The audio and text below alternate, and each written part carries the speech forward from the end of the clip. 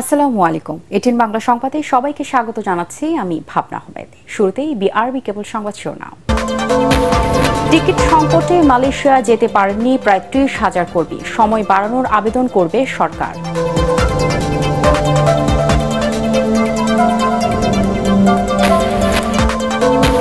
এবারের বাজেট আট লাখ কোটি টাকার। ঋণের সুদি পরিশোধ করতে হবে এক লাখ উনত্রিশ হাজার কোটি টাকা।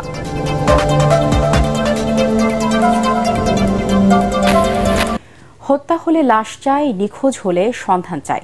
এই স্লোগান নিয়ে সংসদ সদস্য আনোয়ারুল আজিম আনার হত্যার ঘটনায় ঝিনাইদহের কালীগঞ্জে সংবাদ সম্মেলন করেছেন তার নির্বাচনী এলাকার জনপ্রতিনিধিরা। সকালে উপজেলার ভূষণ হাইস্কুল মাঠের এই আয়োজনে উপজেলা চেয়ারম্যান জাহাঙ্গীর সিদ্দিকী ঠান্ডু, পৌর মেয়র আশরাফুল আলম আশরাফ সহ তার নির্বাচনী এলাকার চোদ্দটি ইউনিয়ন ও পৌরসভার চেয়ারম্যান, মেম্বার সহ স্থানীয় আওয়ামী লীগ ও সহযোগী সংগঠনের নেতাকর্মীরা উপস্থিত ছিলেন। সংবাদ সম্মেলনে বক্তারা এমপি আনারের ব্যবহৃত পাসপোর্ট, ঘড়ি, আংটি ও কথিত রক্তমাখা পোশাকও উদ্ধারের দাবি জানান। এমপি মহোদয় মৃত্যুর পরে একটি কুচক্রি মহলে ঘটনাটাকে ভিন্ন খাতে নেওয়ার জন্য তার চরিত্র হরণের জন্য যে সকল হলুদ কিছু ফেসবুক সাংবাদিকধারীরা এগুলো করছে, তাদের প্রশাসনের দৃষ্টি আকর্ষণ করছে, তাদেরকে আইনের আওতায় এনে তাদেরকে দৃষ্টান্তমূলক শাস্তি চাই এবং এই হত্যার সাথে অপহরণের সাথে যারাই যুক্ত হোক না কেন, যত বড় পাওয়ারফুলি হোক, তাদেরকে চিহ্নিত করে, তাদের মুখ উন্মোচন করে, অচিরেই যাতে বাংলাদেশের মাটিতে তাদের বিচার নিশ্চিত করা হয়, এটাই হচ্ছে আমাদের আজকের মূল দাবি। পাঁচ থেকে ছয় লাখ টাকা দিয়েও বিমান টিকিট সংকটে মালয়েশিয়া যেতে পারলেন না প্রায় ত্রিশ হাজার বাংলাদেশি কর্মী। গতকাল ছিল দেশটিতে বিদেশি কর্মীদের ঢোকার শেষ সময়সীমা।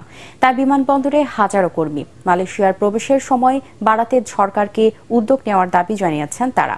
ট্রাভেল এজেন্টদের সংগঠন আটাব বলছে, এজেন্সি আর এয়ারলাইন্সগুলোর অতি মুনাফার কারণে এমনটা হয়েছে। মাহবুব কবির চপলের রিপোর্ট। বিমানবন্দরে প্রিয়জনকে হাসি মুখে বিদায় জানাতে এসেছিলেন স্বজনরা। কিন্তু ফিরতে হলো এক রাস হতাশা আর অনিশ্চয়তা নিয়ে। শুক্রবার মধ্যরাত থেকে বিদেশি কর্মী নেয়া বন্ধ করে দেয় মালয়েশিয়া। যদিও ঘোষণা আগে ছিল, তারপরও শেষ দিকে কর্মী পাঠাবার তৎপরতা শুরু করে এজেন্সিগুলো। শুরু হয় প্লেনের টিকিট সংকট। লাখ টাকা দিয়েও টিকিট পাননি প্রায় তিরিশ হাজার কর্মী। এতে সাত লাখ টাকা দিয়েও মালয়েশিয়া যেতে পারলেন না তারা। আমরা উদ্যোগ নিয়ে আসছি যে আমরা যাব মালয়েশিয়াতে। এটাই আমাদের স্বপ্ন। চার দিন হচ্ছে আসছি আজকে। বলল যে আপনারা এয়ারপোর্টে দাঁড়ান আমরা আসতেছি। টিকিট আপনাদের ফোনে ফোনে আসবে। অপেক্ষা করছি ফোন নিয়ে বসে আসি কখন আসবে? অমুক তারিখে আপনাকে ফ্লাইট অমুক তারিখে কাগজপত্র আসতেছে কোনো কাজে যাইয়েন না। এইভাবেই আমরা একটা বছর পাঁচ লক্ষ টাকা সাড়ে পাঁচ লক্ষ টাকা দেওয়া হয়েছে দালালের হাতে। আরও কমসে কম চার লক্ষ টাকার বাড়ি বসে ঋণ হওয়া হয়েছে। পাঁচ লক্ষ পঞ্চান্ন হাজার টাকা দেওয়া হয়েছে। বন্দুক থুইছে ওই লাভে আনা হয়েছে বিভিন্ন মানুষের কাছে দেখা ধারণা হয়েছে মানবিক দিক বিবেচনা করে মালয়েশিয়া যাবার সময় বাড়াতে সরকারকে উদ্যোগ নেয়ার দাবি ভুক্তভোগীদের। আমার দুই ভরি স্বর্ণ বন্দুক আছে। আমার জমি আছে। আমার একটা গাভী ছিল গাভী বিক্রি করছি। এখন এই সমস্ত করার পর টাকা সংগ্রহ করার পর আমি তো এখন স্থির থাকতে পারতেছি না। দুই তিন বছর ঘুরে টাকা পয়সা দিয়ে কিচ্ছু করে নাই। অনেক দারিদ্র হয়ে গেছে যার কারণে যদি কয়েকদিন সুরমায় বাড়ায় তাহলে প্রত্যেকটা লোকে যাইতে পারবে। এর আগে যারা কুয়ালালামপুর বিমানবন্দরে পৌঁছেছেন তারাও অমানবিক আচরণের শিকার হয়েছেন। নিয়োগকর্তার যোগাযোগ ছাড়া দেশে ফেরত পাঠানোর হুমকিও দেয়া হয় তাদের। দেশটির সংবাদ মাধ্যম ফ্রি মালয়েশিয়া ট্যুরের এক প্রতিবেদনে বলা হয়, এসব কর্মী কাজ না পেলে ঋণের চাপে আধুনিক দাসত্বের শিকার হবেন। দায়ী সিন্ডিকেটের বিরুদ্ধে শাস্তির পাশাপাশি সমস্যা সমাধানে প্রবাসী কল্যাণ মন্ত্রণালয়কে এগিয়ে আসার আহ্বান জানিয়েছে আটাব। তিরিশ হাজার টাকার টিকিট এক লক্ষ বা এক লক্ষ বিশ হাজার টাকাও আমরা জেনেছি যে বিক্রি হয়েছে। এক্ষেত্রে এয়ারলাইন্সগুলোই কিন্তু ভাড়াটা নির্ধারণ করে, তো এটা দায় এয়ারলাইন্সকে নিতে হবে। পাশাপাশি যদি কোনো এজেন্সি এখানে জড়িত থাকে, তাদের বিরুদ্ধে সরকার ব্যবস্থা নিতে পারে। যদি মালয়েশিয়ান সরকারকে অনুরোধ করে এই সময় সীমাটাকে আরেকটু বাড়িয়ে নেওয়া যায়, সেই উদ্যোগটা নেওয়া উচিত। চার বছর বন্ধ থাকার পর দু হাজার বাইশ সাল থেকে কর্মী নেওয়া শুরু করে মালয়েশিয়া, যা বন্ধ হলো আবারও। প্রবাসী কর্মীদের বলা হয় রেমিটেন্স যোদ্ধা। কিন্তু যুদ্ধক্ষেত্রে যেতে তাদের পদে পদে ভোগান্তিতে পড়তে হয়। কর্মীদের নিঃস্ব করে টাকার পাহাড় গড়ে সিন্ডিকেট তারা থাকে ধরা ছোঁয়ার বাইরে। যেন দেখার কেউ নেই। মাহবুব কবির চপল এটিএন বাংলা, ঢাকা। মালয়েশিয়ায় বাংলাদেশি কর্মী নেওয়ার সময়সীমা বাড়াতে দেশটির সাথে যোগাযোগ করা হয়েছে বলে জানিয়েছেন প্রবাসী কল্যাণ ও বৈদেশিক কর্মসংস্থান প্রতিমন্ত্রী শফিকুর রহমান চৌধুরী। সিলেটে এক অনুষ্ঠানে তিনি জানান, এ বিষয়ে মালয়েশিয়ার সরকারের ইতিবাচক সাড়া পাওয়ার সম্ভাবনা রয়েছে। এর আগে বাংলাদেশে নেপাল ও ভারত সহ চোদ্দটি দেশ থেকে একত্রিশ মের মধ্যে কর্মীদের মালয়েশিয়া পৌঁছানোর ঘোষণা দেয় দেশটির ইমিগ্রেশন বিভাগ। কিন্তু ফ্লাইটের আসন ও টিকিট সংকট সহ নানা জটিলতার কারণে বাংলাদেশ থেকে প্রায় ত্রিশ হাজার কর্মী দেশটিতে মালয়েশিয়া যেতে পারেননি। দু সালে উন্মুক্ত হওয়ার পর চার লাখ ষাট হাজার কর্মী মালয়েশিয়া গেছেন।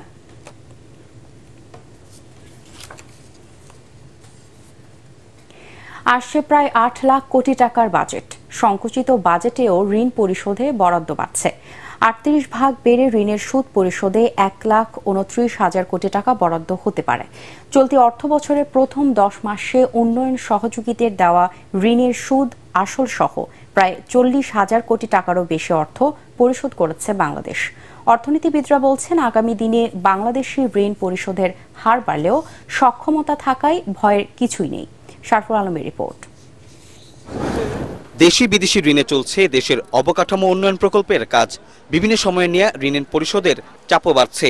চলতি অর্থ বছরের জুলাই থেকে এপ্রিল পর্যন্ত দশ মাসে বিদেশি ঋণের সুদ আসল সহ পরিশোধের পরিমাণ দুইশো একাশি কোটি, আঠারো লাখ ডলার বা তিরিশ হাজার নয়শো তেইশ কোটি তেষট্টি লাখ টাকা। গত অর্থ বছরের একই সময়ে ঋণ পরিশোধের এই পরিমাণ ছিল উনিশ হাজার দুইশো আটচল্লিশ কোটি টাকা। বছরের ব্যবধানে এগারো হাজার ছয়শো পঁচাত্তর কোটি চার লাখ টাকা ঋণ পরিশোধ বেড়েছে। ইআরডির তথ্য অনুযায়ী গত দশ মাসে মোট ঋণের মধ্যে আসল আঠারো হাজার দুইশো সাতানব্বই কোটি টাকা আর বাকি বারো হাজার ছয়শো ছাব্বিশ কোটি সুদ বাবদ পরিশোধ করেছে সরকার। এ অবস্থায় বাজেটে ঋণ পরিশোধের হার বাড়লেও এ নিয়ে চিন্তার কিছু নেই বলে মনে করেন বিশ্লেষকরা। ব্যবসা বাণিজ্য খাতে, শিল্প খাতে এর একটা প্রভাব আসাটাই স্বাভাবিক। এখন সেটা আমরা পরিষ্কার বুঝতে পারব। মাননীয় অর্থমন্ত্রী বাজেটে কি আনেন তার উপরে।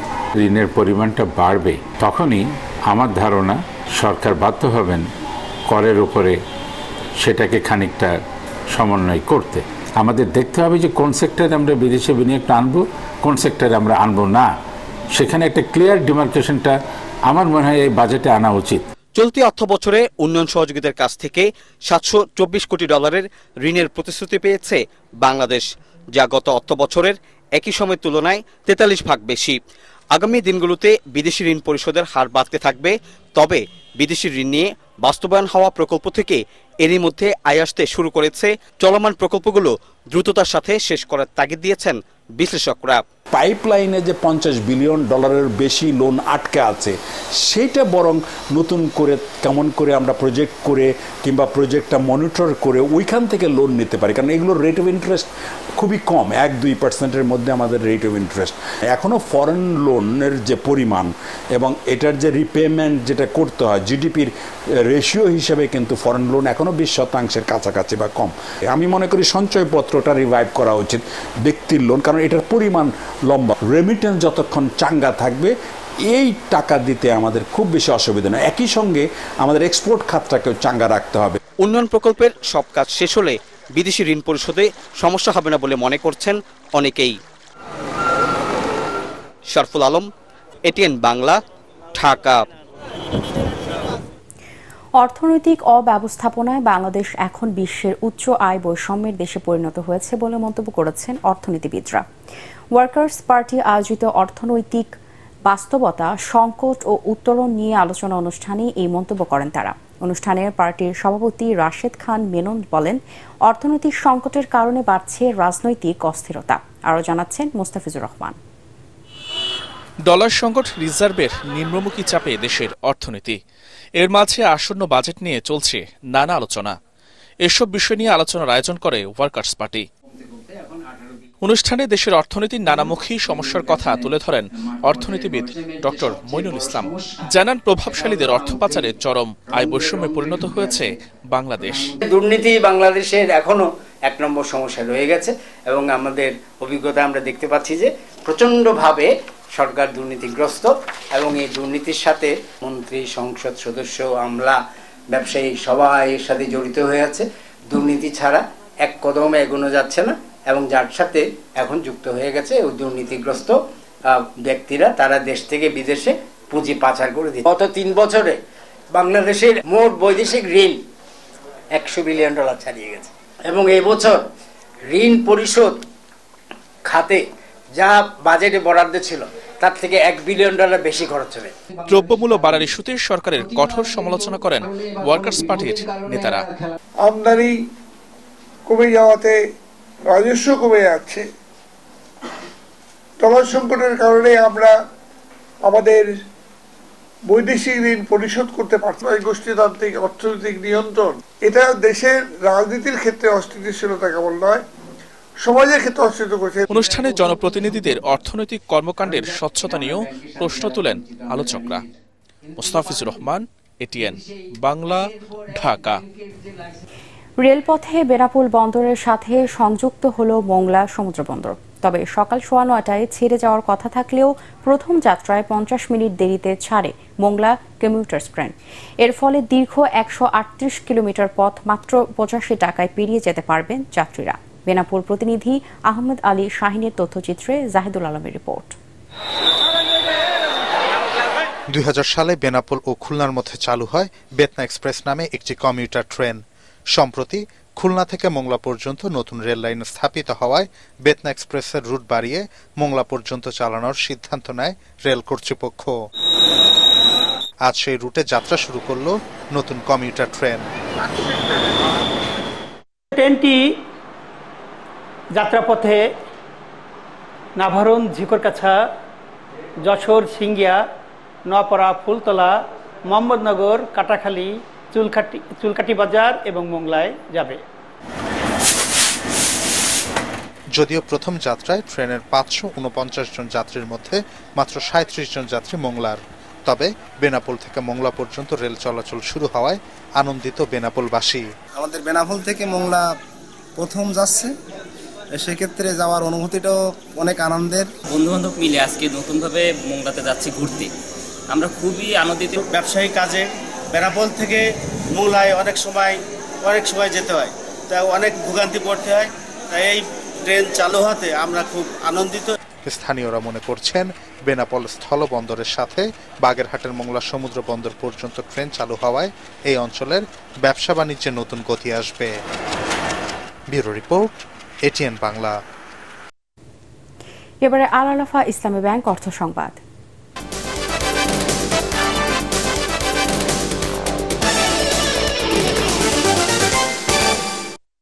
দু হাজার তেইশ সালের জন্য বিশ শতাংশ লভ্যাংশের অনুমোদন দিয়েছে ব্রাক ব্যাংক পিএলসি। এর মধ্যে দশ শতাংশ নগদ লভ্যাংশ এবং দশ শতাংশ স্টক ডিভিডেন্ড আকারে বন্টন করা হবে। গত ত্রিশ মের ব্যাংকটির পঁচিশতম বার্ষিক সাধারণ সভায় এই অনুমোদন দেওয়া হয়।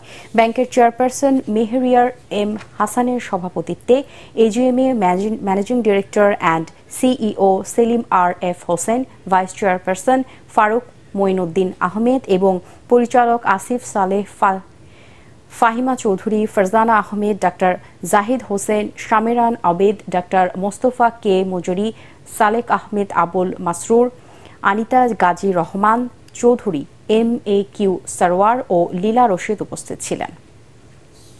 ঘূর্ণিঝড় বা যে কোনো দুর্যোগ আসার আগে সংশ্লিষ্ট এলাকার খাদ্য মজুত রাখতে হবে বলে সরকার তা না হলে সরকারের জন্য দুর্যোগ পরবর্তী সংকট মোকাবেলা করা সহজ হবে না বলে জানিয়েছে বাংলাদেশ পরিবেশ আন্দোলন বাপা। ঢাকা রিপোর্টার্স ইউনিটিতে ঘূর্ণিঝড়, রিমাল পরবর্তী খাদ্য নিরাপত্তা এবং আশুকরণীয় শীর্ষক আলোচনায় এ দাবি জানানো হয়। সংগঠনটির নেতারা বলেন, উপকূল অঞ্চল থেকে দেশ যেভাবে লাভবান হয়, সে প্রেক্ষিতে উপকূলের মানুষদের দুর্যোগ থেকে বাঁচাতে বিনিয়োগ করছেন না সরকার। আলোচনা সভায় অন্যান্যের মধ্যে বক্তৃতা করেন জলবায়ু ও পরিবেশবিদ অধ্যাপক ডক্টর আহমদ কামরুজ্জামান মজুদদার গহর নঈম ওয়ারা এবং বাপার সভাপতি অধ্যাপক নূর মোহাম্মদ তালুকদার। প্রাকৃতিক দুর্যোগ থেকে উপকূলকে বাঁচাতে প্রকৃতি নির্ভর পদক্ষেপ নিতে সরকারের প্রতি আহ্বান জানান তারা।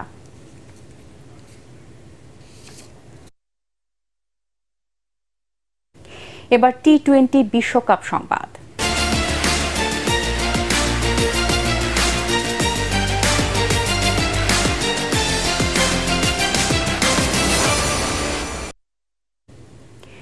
অপেক্ষার পালা শেষ।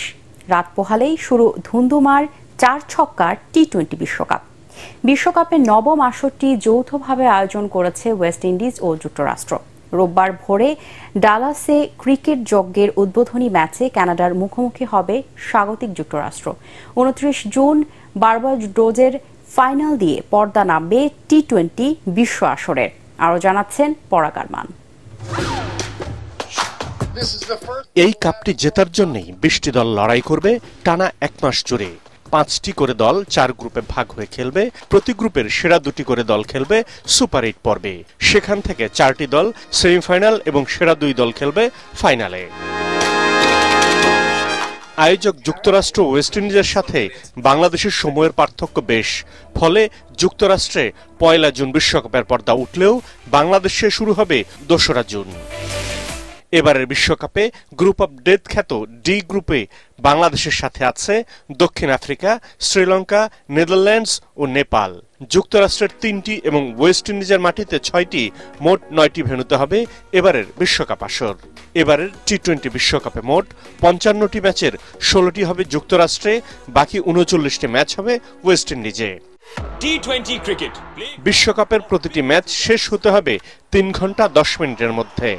এক একটা ইনিংস শেষ করার সময় এক ঘণ্টা পঁচিশ মিনিট, সঙ্গে থাকছে বিশ মিনিটের বিরতি। অন্যদিকে বৃষ্টির কারণে বিঘ্ন সৃষ্টি হলে ফলাফলের জন্য প্রতিটি দলকে ন্যূনতম পাঁচ ওভার করে খেলতে হবে। তবে সেমিফাইনাল ও ফাইনালের জন্য সেটি হবে দশ ওভার। রাতের শেষে দিনের আলো ফুটে ওঠার সাথে সাথেই সময়ের সেরা সব প্রতিভাবান খেলোয়াড়দের ব্যাট বলের ঝঞ্ঝনানি আর চার ছক্কার ফুলছড়িতে মেতে উঠবে বিশ্ব। তবে শেষ পর্যন্ত শ্রেষ্ঠত্বের মুকুট উঠবে কার মাথায়? সে অপেক্ষা এখন ক্রিকেট বিশ্ব। পরাকারমান এটিএন বাংলা। এবারে পার্টেক্স খেলার খবর।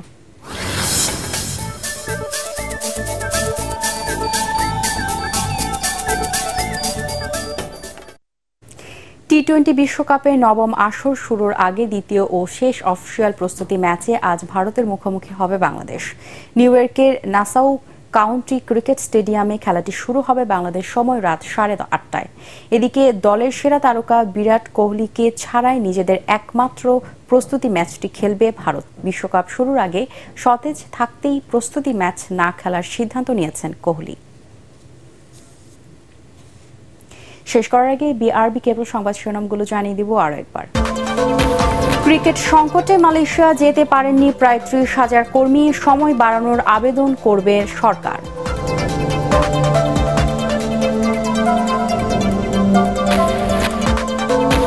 এবারের বাজেট আট লাখ কোটি টাকার। ঋণের সুদই পরিশোধ করতে হবে এক লাখ উনত্রিশ হাজার কোটি টাকা।